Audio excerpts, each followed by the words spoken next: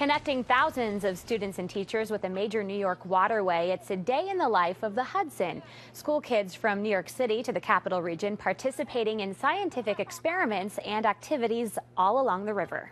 They learn so much on this day. It gives them the opportunity to get right out and be hands on with science and nature, and they, they get to do everything.